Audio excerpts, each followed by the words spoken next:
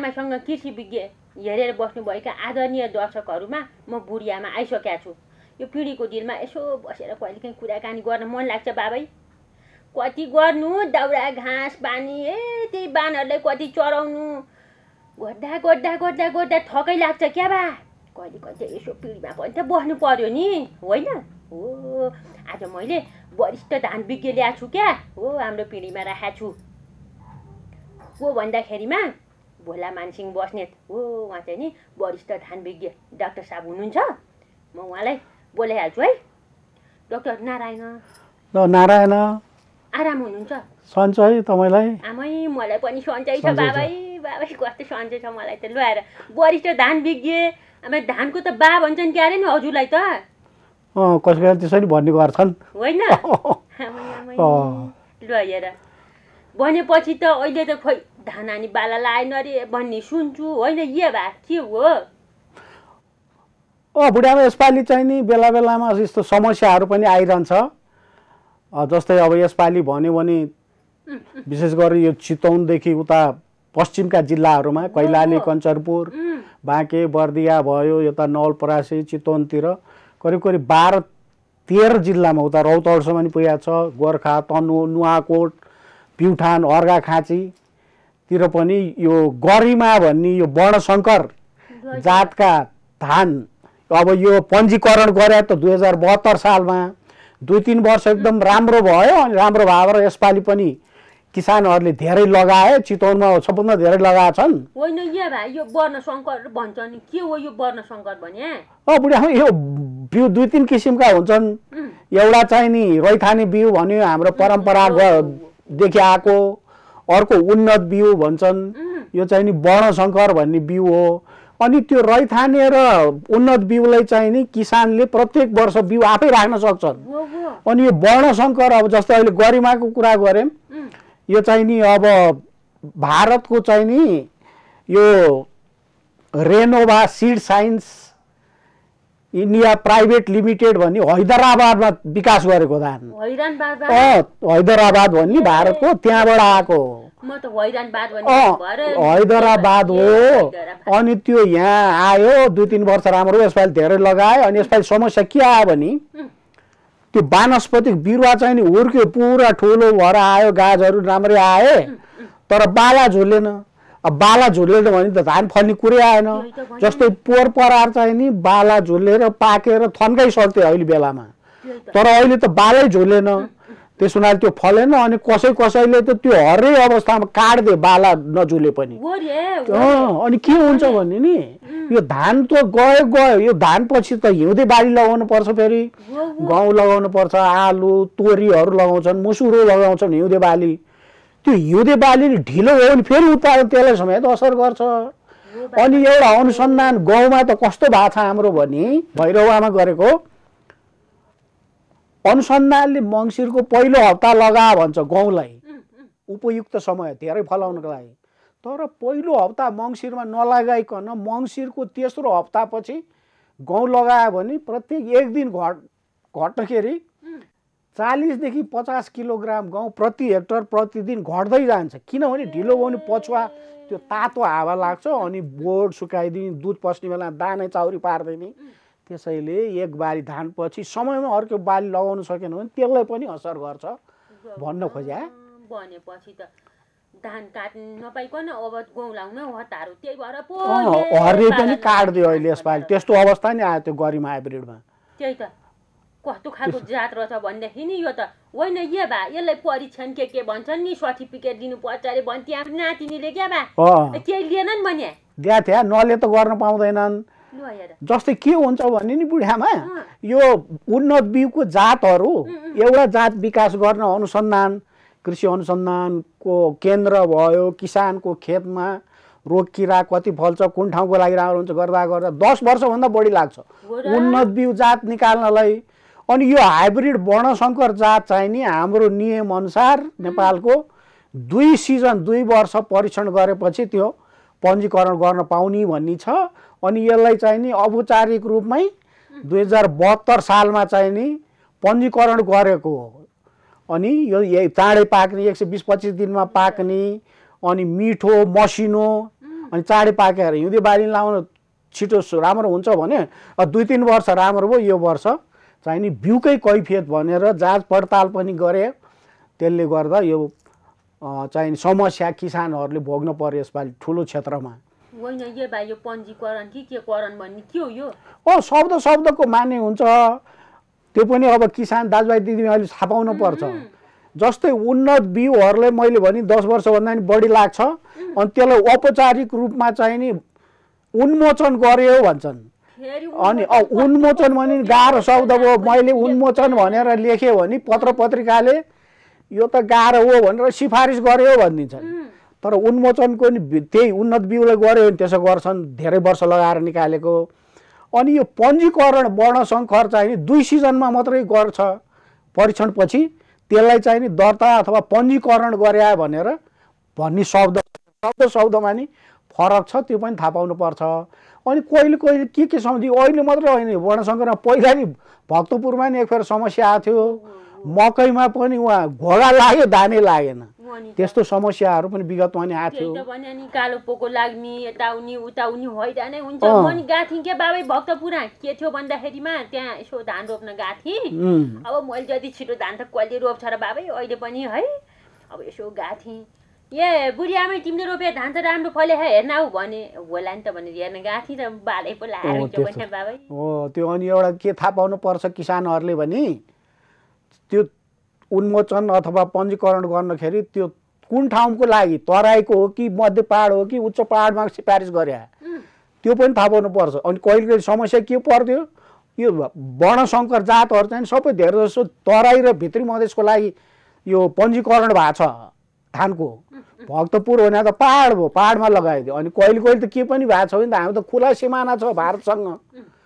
त्यो पञ्जीकरण नभएको पनि बिउहरू ल्याएर लगाएर पनि बेला बेलामा समस्या परेको यो अनुभव गरेको छु मैले।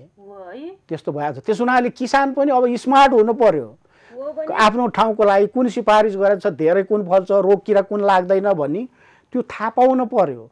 अनि एउटा ठाउँमा सिफारिस गरे तराईमा पाहाडमा लगाइदियो भने त सरकारले क्षतिपूर्ति आदि दिँदैन त्यो।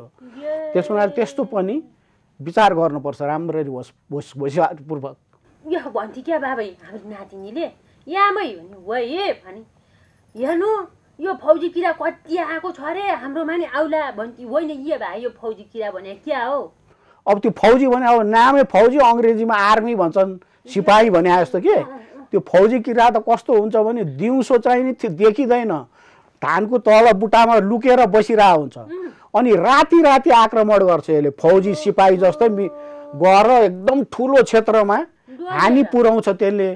अघि मैले भने बाह्र लागेन गरिमा भने चितवनदेखि पश्चिमतिर लाग्यो। अब यो फौजी किरा चाहिँ नि चितवनदेखि उता पूर्वतिर झापासम्म त्यो गएर करिब करिब सत्र हजार हेक्टरमा क्षति पुऱ्याएको छ यो फौजी किराले भन्ने। त्यस्तो। रिपोर्ट पनि आएको छ? आछ अँ त्यस हुनाले यसपालि किसानहरूलाई देशलाई पनि ठुलो नोक्सानी हुने अनुमान गर्न सक्छौँ। हामीले उत्पादन पनि कम हुने भयो अब। अनि देशको आर्थिक। वृद्धि दरै कम कम हुन्छ। धान उत्पादन कम भएपछि त्यस्तो समस्या। अब आफू त गरे नि नै नगरे नि नै बसे नि नै नबसे नि नै अब आऊ बुढी तिमीलाई नि यतै पाल्नुला भन्छ नि आउँदिन तिमीहरू नै म त त्यहीँ भन्छु गाली गर्छु बाबै म त के गर्नु त्यस हुनाले आफ्नो पनि अब खेतीपातीलाई बाँझो राख्न भएन हुन त काम गर्ने मान्छे छैनन् भन्छन् अहिले तर अब के गर्ने त्यस्तो भएपछि भने कृषि यान्त्रिकरण गर्न पर्यो भन्छन् समूहमा गर्न पर्यो अनि सहकारीकरण गरेर पनि धान खेती गर्न पर्यो भन्छन् जस्तै नि बुढियामा यो पूर्वको हाम्रो झापा भन्ने जिल्ला छ नि। त्यहाँ एउटा महारानी झोडा साना किसान सहकारी संस्था भनेर खोल्या छ। त्यहाँ दुई हजार महिलाहरू सेल होल्डर छन्। अध्यक्ष पनि महिलै हुनुहुन्छ त्यहाँ। अनि त्यहाँ पनि ठुलो यान्त्रिकरण गरेर यान्त्रिकरण गर्दाखेरि चक्लाबन्दी गर्न पर्छ भन्छन्। त्यो पनि सुरु गरेका छन् गाई पालन पनि गरेका छन् समूहमा गरेपछि? अनि युवाहरू नभए पनि मेसिनहरूले त। त्यो युवाहरू कम भए पनि खेतीपाती गर्न सहज हुन्छ नि। त्यसरी गरेका छन्। अरू ठाउँमा पनि छ। मैले खालि झापाको नमुना भने एउटा। लान्छन् त्यो। किसानहरू पनि त्यहाँ भ्रमणको लागि जान्छन् बेला बेला गइरहेको हुन्छ। अनि देखासेखी मान्छे। गरेर लान्छन् नि। पहिला त जिल्ला कृषि विकास कार्यालय भन्थे। अहिले त कृषि ज्ञान केन्द्र भनेर गरेका छ जिल्लामा। एउटा जिल्ला अथवा दुईवटा जिल्ला हेरेर गरिरहेको हुन्छन्। जस्तै यो उपाध्याय काठमाडौँ भक्तपुर ललितपुर भन्यो भने ललितपुरमा कृषि ज्ञान केन्द्र छ। त्यहाँको यो तिनटै जिल्लाको कृषिको उहाँले हेर्नुहुन्छ बुढी आमाले अस्ति त्यहाँको प्रमुखको अन्तर्वार्ता लिएको पनि मैले हेरेको थिएँ टेलिभिजनमा। हो उहाँ मैले हेरेको थिएँ। त्यस्तो त्यस्तो अहिले नयाँ सङ्गठनहरू बनिएको छ। अनि उहाँलाई सम्पर्क गरिरह्यो भने त्यहाँ लाने ऊ गर्ने पनि समूहमा लान्छन् उनीहरूले फेरि एक्लै होइन कि किसानहरू मिलाएर। त्यसरी लाने व्यवस्था नि हुनसक्छ। हो हो भनेपछि अब हामीले पनि अब त्यो झापा मोरङ सुनचोरी के के भन्थे अब त्यहाँ जान पाउँछौँ होला त। पाइन्छ। अनि झापा भने त कस्तो भने फेरि? सबभन्दा हाम्रो पचहत्तर भन्थ्यो पहिला अहिले सतहत्तर जिल्ला भन्छन्। त्यो झापा एउटा जिल्लामा फलेको धान पाहाडको बाइस जिल्लाभन्दा बढी हुन्छ। एउटा झापा जिल्लामा। त्यसमा एक नम्बर धेरै उत्पादन गर्ने झापा हो। दोस्रो मोरङ हो धान उत्पादन गर्ने नेपालमा धेरै उत्पादन गर्ने। होइन यो भए अब यसपालि त धानको अवस्था त खासै राम्रो जस्तो लाग्दैन है मलाई त। अँ यसपालि राम्रो हुँदैन उत्पादन पनि कम हुन्छ। जस्तै अब कृषि विभागबाट पनि त्यो प्रारम्भिक अनुमान गरे अनुसार दुईदेखि पाँच प्रतिशत कम हुन्छ भनेर अनुमान गरेका छन्? त्यो बढ्छ। अनि कृषि मन्त्रालयको सचिवज्यूले पनि आज मैले पत्रिकामा पढाएको थिएँ करिब करिब सात आठ प्रतिशत घट्छ होला भन्नु भएको छ। अनि मेरो विचारमा पनि करिब करिब दस प्रतिशतको हाराहारीमा यसपालि धानको उत्पादन घट्छ भन्ने मैले पनि अनुमान गरिरहेको छु। के भयो बुढियामा भने यसपालि एउटा त त्यो धान रोपाइँ गर्ने बेला पानी नै परेन अनि हामीले खडेरी खडेरीको कुराहरू बहस गऱ्यौँ आदि इत्यादि गऱ्यौँ। अनि अलिक पछि गएर फेरि यसरी हाँडी घोप्टे जस्तो पानी पर्थ्यो धेरै एकैचोटि। त्यसले नै असर गर्यो। अनि मल पनि बेला बेला पर्याप्त मात्रामा पाइया छैन अहिले। अनि गुणस्तरीय बिउले हामी पन्ध्रदेखि बिस प्रतिशत उत्पादन बढ्छ भन्छौँ। धानले धानको अनि एक किलो नाइट्रोजनले बिस किलो धान उत्पादन गर्छ भन्छौँ। अनि मल कम भएपछि त पनि उत्पादन कम हुने भइहाल्यो। अनि यो फौजी किरा बाला नलाग्ने त्यस्ता त्यस्ता समस्याहरू पनि आए। अनि मौसमले पनि धोका दियो। त्यस हुनाले अँ यसपालि अँ यसपालि। यसपालि गरे पोहोर चाहिँ नि ऐतिहासिक उत्पादन भएको थियो फेरि धानको। छप्पन्न लाख दस हजार मेट्रिक टन उत्पादन भएको थियो। अनि यसपालि चाहिँ यसरी धोका दियो। हुन्छ बाबै हुन्छ। यसरी हामी कुराकानी गर्छौँ कि? एकैछिन अब कुखुरा धबाएर आउनु पर्यो विश्राम के बाबै? हेर्दै गर्नु होला है।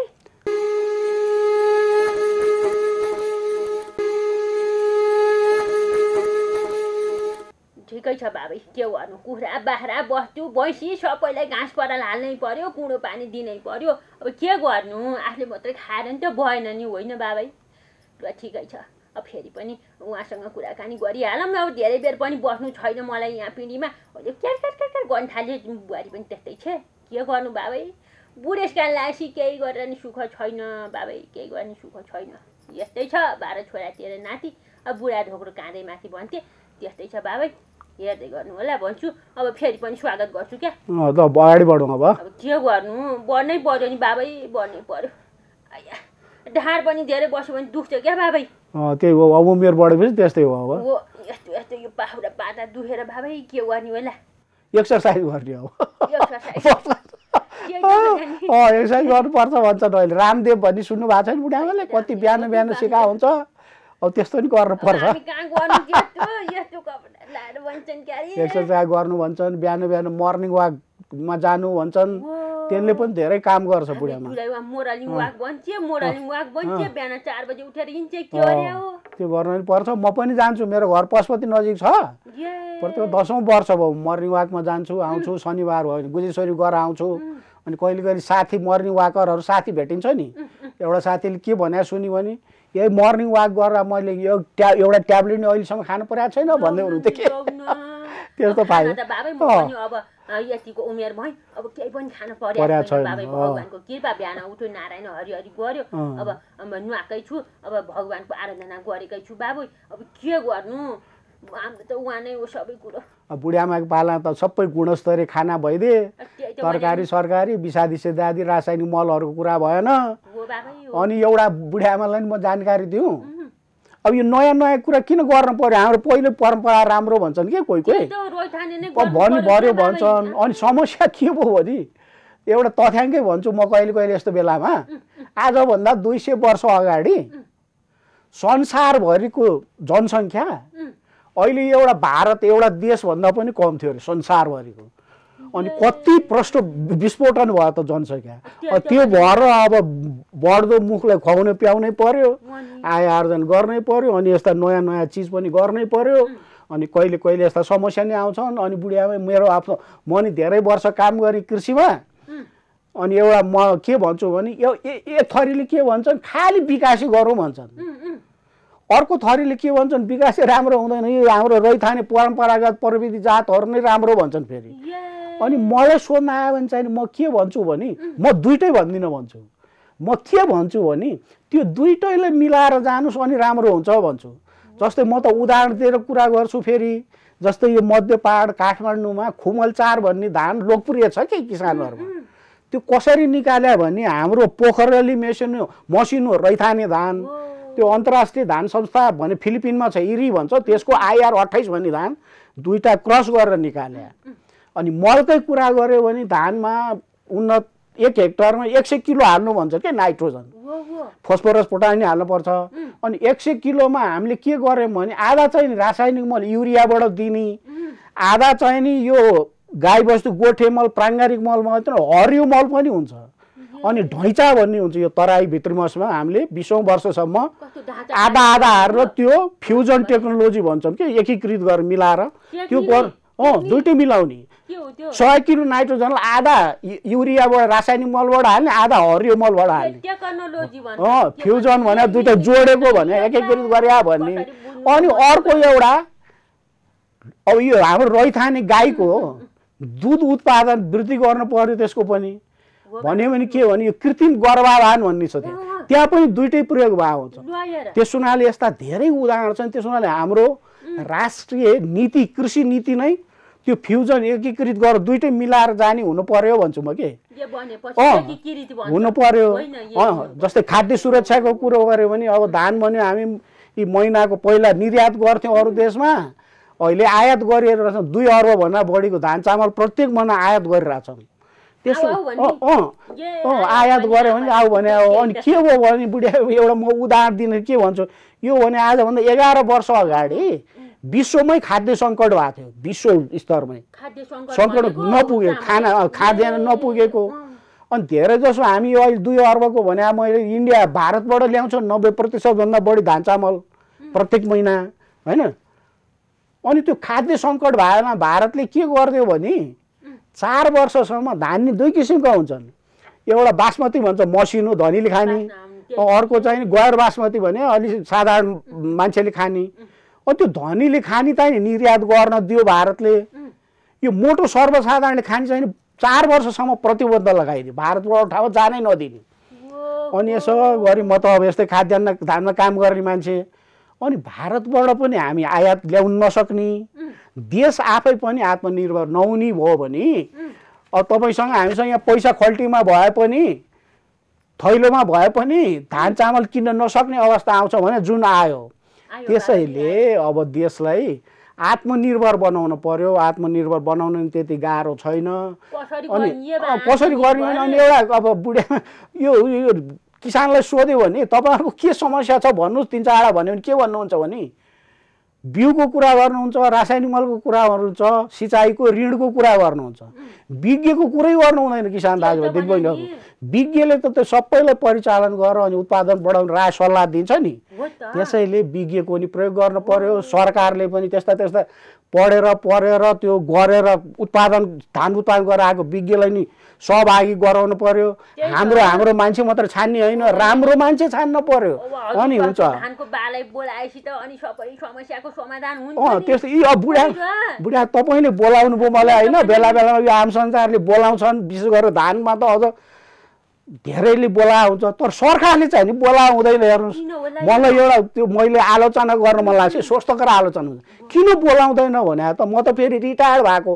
अवकाश प्राप्त भएको अनि यो रिटायर भएका कर्मचारीलाई के गर्न रहेछन् भने फोहोर फाल्या टालो जस्तो फ्याँकिदिनु रहेछ। यसको कामै छैन अब रिटायर भयो भने अँ रिटायर- भने अवकाश प्राप्त भयो। होइन त्यो भयो अब उमेर उमेर अनुसार।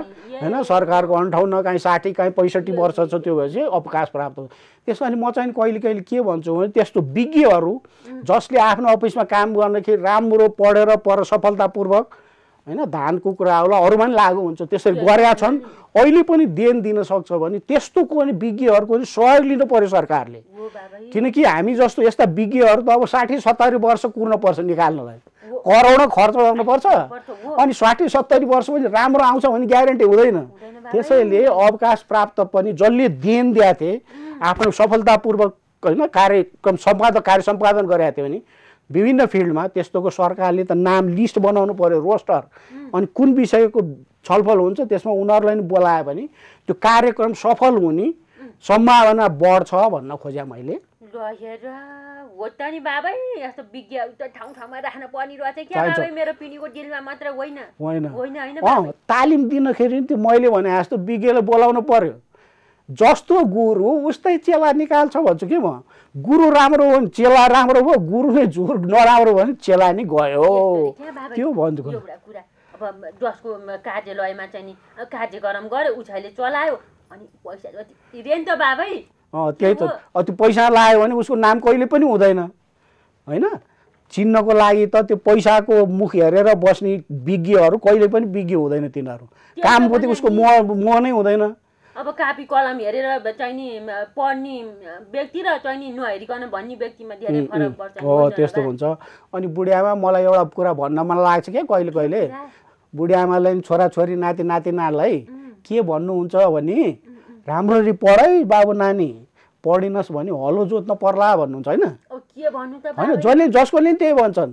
अनि म चाहिँ नि के भन्छु भने त्यो त गलत भयो होला भन्छु। किन गलत भने यदि छोराछोरी नाति नातिना कृषि क्षेत्रमा काम गर्ने हो भने त अनि पढिनस् भने हलो जोत्न पर्ला भने आउँछन् फेरि। अँ पर्ला हलो जोत्ला। त्यस हुनाले त कृषिमा क्षेत्रमा लाग्ने उसले छ भने त जति हलो जोते त्यति राम्रो अनुभव हुन्छ। व्यवहारिक प्र्याक्टिकल ज्ञान हुन्छ नि। अनि कृषि वैज्ञानिकले नि संसारमा एउटा एउटा ठुलो पुरस्कारको नाम छ नोबल पुरस्कार भन्छ। नोबल। पुरस्कार भन्ने। त्यस्तो पुरस्कार पनि एउटा कृषि वैज्ञानिक नर्मन बोर्लक भन्नेले पाउ पाउनु भएको छ कृषिको वैज्ञानिक। उहाँ? हलो। जोत्नु भयो के के कृषिमा व्यावहारिक रूपमा काम उहाँले चाहिँ गाउँमा काम गर्नु हो। किनभने त्यो अग्लो अग्लो हुन्छ हाम्रो त रैथाने गाउँ। त्यहाँ त्यो युरिया मल टप हालिदियो भने त ढल्छ त्यो। अनि उहाँले के गर्नुभयो भने दुईवटा अग्लो र होचो जातलाई क्रस गरेर त्यो होचो होचो अथवा मध्यम उचाइको गहुँ निकालिदिनु हो होचो त्यो होचो गहुँलाई त जति युरिया हाल्नुहोस् न त्यसको त गाजहरू बालाहरू धेरै आएर धेरै फल्छ। अनि त्यस्तो गहुँको जात उहाँले बोर्लगले निकाल्या भएर संसारको एक अर्ब मान्छेलाई भोकमरीबाट हटाएर त्यो गाउँले बाबा, भनेर अनि संसारको त्यो ठुलो पुरस्कार कृषि वैज्ञानिकले नि पाउँछन्। भन्न खोजेँ मैले। एउटा कुरा मैले बुझिनँ क्या डाक्टर साहब। एउटा अर्को कुरा के छ भने अब हाम्रो देशमा चाहिँ नि जसले ठुलो ठुलो फलाउन सक्छ त्यसलाई चाहिँ पुरस्कार दिन्छन्। जसले ठुलो मुलाएर चाहिँ नि बडो काउली फलाउन सक्छन् बडो फर्सी फलाउन सक्छन् उसैलाई चाहिँ पुरस्कार दिया छन् रे। ए भन्ती क्या नातिनी अनि उसलाई पुरस्कार दिएछ भने त्यो ठुलो ठुलो एउटा दुइटा फलाएर हुँदैन। त्यही त भने नि। त्यस्ता ठुलो त धेरै। क्षेत्रमा फलाउनु पर्यो। अनि बुढाले भने त्यस्तै हो एउटा फलाइदियो भने त्यसलाई पुरस्कार दिन भएन। त्यस्तो त धेरै क्षेत्रमा फल्याउनु पर्यो। त्यही त भने? अनि। बुढियामा एउटा मलाई भन्नु के मन लाग्छ भने यस्ता पुरस्कार दिँदाखेरि धेरै संस्था सरकारी स्तरमा नि अरू स्तरमा के भनेको छ भने यो वैज्ञानिक अथवा यो प्राविधिकले चाहिँ नि कृषिमा उल्लेखनीय प्रयोग प्रगति हासिल गरे भएर दिन्छन् क्या पुरस्कार। अनि म चाहिँ नि के हुन्छ भने त्यो भने त जसलाई दिए नि हुन्छ।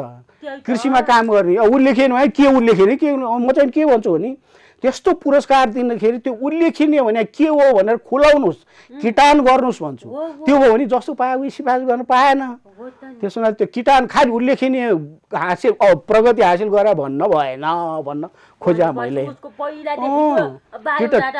रिकर्ड हेर्न पर्यो उसको विगतको, अँ। त्यस्तो हुनुपर्छ, तर त्यस्तो भाव हुँदैन हेर्नुहोस्। त्यसो। उहाँ भने नि मलाई त कहिले कहिले चित्त बुझ्दैन क्या त्यही भएर त्यसैले मैले नि भनिदिइहालेँ। त्यस्तो भइरहेछ यो। के गर्नु। बाबा? चित्त नबुझेको कुरो गर्ने ठाउँै यही हो अब। के गर्नु? कस्तो दुख्छ भने एकछिन राम्रोसँग बस्नु सक्दिनँ भने बाबा यो त दुखेर भइरहनुहुन्छ। के गर्ने होला? यति यो भा। भनौँ अब कुरा त त्यसैको आउँछ होइन? अब भविष्यमा के होला त यो धानकै बारेमा कुरा आउँछ। के भविष्यमा राम्रो होला त अब यो धानको मा, जुन अहिले त अब यसो कमिसन खाएर नि काम गरे अरे भन्छन् अब नसुन्नु अरूले फेरि काहीँ काहीँ के के त्यस्ता पनि सुनिन्छ अनि भविष्यमा भने अब मैले भने म त उदाहरण दिएर काम गर्छु अनि किसानहरूले के भन्छन् भने मलाई मैले के भन्न खोजेको उहाँले स्पष्ट बुझ्नुहुन्छ भनेर मैले त्यो पृष्ठपोषण पाएको छु के उदाहरण दिएर कुरा गर्छु म जस्तै अब भविष्य भन्नाले अब अहिले भविष्यमा कुरा के गर्छन् भने पहिलो विश्वयुद्ध भयो दोस्रो विश्वयुद्ध भयो होइन? अब तेस्रो विश्वयुद्ध भयो भने पानीमा हुन्छ भन्छन्। अनि धानलाई चाहिँ के अनुमान गरेका छन् भने। एक किलो धान उत्पादन गर्नलाई तिन हजारदेखि पाँच हजार लिटर पानी चाहिन्छ। हामी मिनरल वाटर बिस पच्चिस रुपियाँ किन्छ नि एउटा। त्यस्तो तिन हजारदेखि पाँच हजार बोतल चाहियो एक किलो धान उत्पादन गर्न अनि संसारमा आधाभन्दा बढीको जनसङ्ख्या भात छ मुख्य। अनि एसियाको देशमा हामी नि एसियामा पऱ्यौँ नब्बे प्रतिशतभन्दा बढी धान उत्पादन र खपत यहीँ नै हुन्छ एसियामा। पहिलो चिनले निकाल्छ सबभन्दा धेरै दोस्रो भारत हो। त्यस हुनाले अनि अहिले कम पानीमा कसरी फलाउने धान भनेर अब अहिले। परीक्षणहरू भइरहेछ जस्तै तरकारीमा थोपा सिँचाइ भन्छन् नि। धानमा पनि थोपाई सिँचाइमा अनुसन्धान अनि गरेका छ। एउटा एसआरआई श्री प्रविधि भन्छन् त्यस्तो। अनि पानी धेरै खाने भने धानले त रोपाइ गर्दाखेरि फेरि हिल्याउँदाखेरि अनि त्यसलाई त्यसरी नहिलाइकन सोझै छरिदिने। अब यसो छरेर रोप्ने धान छरेर सोझै। धान हुन्छ। त्यस्ता राम्रा राम्रा धानहरू ल्याउनु पर्यो क्या बाबै अब अँ फेरि। त्यसैले त्यो त्यो रोपाइको रोपाइको ठाउँमा त्यसरी सोझै छर्ने पनि त्यसलाई पनि बढावा दिएछौँ। अनि त्यो गर्दाखेरि झारपात चाहिँ एकदम धेरै आउँछ। त्यही उनीहरूले त्यो झारपातलाई व्यवस्थापन गर्यो भने त्यो रोपिया बराबर जस्तै उत्पादन गर्न सकिन्छ भने अनुसन्धान देखाएको छ। हाम्रो घैया यति फल्थ्यो मैले गर्न सकुन्जेल बाबै अब अहिले गर्न सक्दिनँ तै पनि अलिअलि त गर्छु है बा। हेर खेतालो लाउँदा लाउँदा लाउँदा हैरान हुन्थेँ बाबै भारी बोकेर दुई ढोक्रा धान म एक्लैले बोक्नु सक्थेँ एकचोटिमा उम्, अँ। टन्नै बोकेर ल्याउँथेँ बाबै कति खानु किन्नै पर्थेन। अब अहिले सबै कुरो किन्न पर्छ बाबै के अँ। अब काम गर्ने मान्छे छैन। छोराछोरी नाति नाति घरमा छैनन् होला। हो अहिले त समस्या त्यो पो छ नेपालमा। छैनन् छैनन्। त्यही भएर त नि गाह्रो छ बा के गर्नु? अब यो बा अलिकति छोटकरीमा भनिहाल्छु है म। भन्नु भन्नु अब के यो धानका के भन्छ यो जम्मै काटेका धानका चाहिँ क्षतिपूर्ति पाउने भए त। अँ बुढियामा हाम्रो नियम के छ भने हाम्रो त्यो बिउ बिजन ऐन अनुसार त्यो बिउ कहाँबाट आयो? कुन स्रोतबाट आयो? त्यो स्रोत जुन स्रोतबाट यस्ता नराम्रो बिउ आउँछ त्यसबाट क्षतिपूर्ति भराउने भन्ने छ। होइन? मैले अघि भनिहालेँ त्यो हैदराबाद भारतबाट आएको हो यो गरिमा भन्ने हाइब्रिड बिउको। अनि सरकारले पनि त्यसको अनुगमन गरेर मूल्याङ्कन गरिरहेछ अहिले।